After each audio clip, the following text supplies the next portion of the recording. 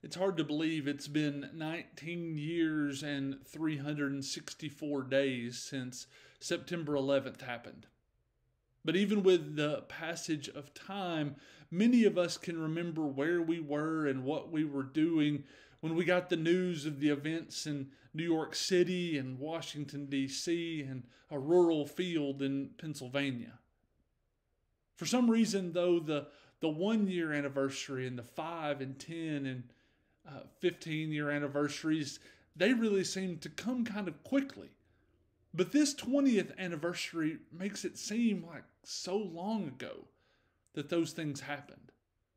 Perhaps it's because even though I can remember the tragedy, the, the other memories that sprang up in the immediate aftermath of the events have, have really long faded. People often talk about how this country changed forever 20 years ago. And I understand the, the sentiment, but but I have to ask, how has this country changed in a positive way in the last 20 years? To be sure, there was an initial change that brought about unity, community, and a, a love for this country and its freedoms. But from an historical perspective, those seem really short lived. The love of neighbor and willingness to support others, even those who are different from us, have long died out. We now live in a world where fear and conflict, tension, discrimination and, and condemnation and hate, especially of those not like us, seem to be the prevailing emotions and attitudes. Now, to be sure, there are those moments when we come together. But as we've seen just in the last 18 months, that unity quickly gives way to conflict.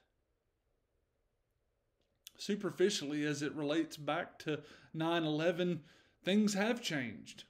For example, we have longer lines at airports, and it takes us longer to get into large gatherings of people like concerts and sporting events.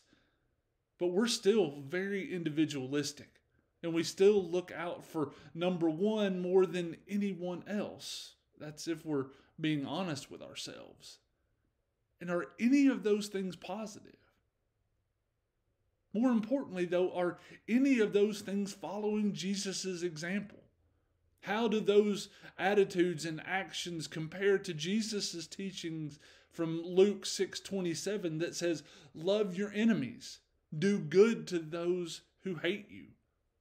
Or Paul's teachings in Romans 12:9 which says, "Honor one another above yourselves." September 11th is a day that we should never forget, whether it's 20 years or 100 years from now. But my hope is that it's a day that inspires us to a greater love of God and neighbor, following Christ's example of humility and sacrifice and love. I hope everyone is doing well and staying safe and healthy. But as I always say, if there's anything that we can do for you here at the church, please don't hesitate to let us know. I look forward to worshiping with you all either on site or online beginning at 8:30 on Sunday morning. Have a great rest of the day and God bless.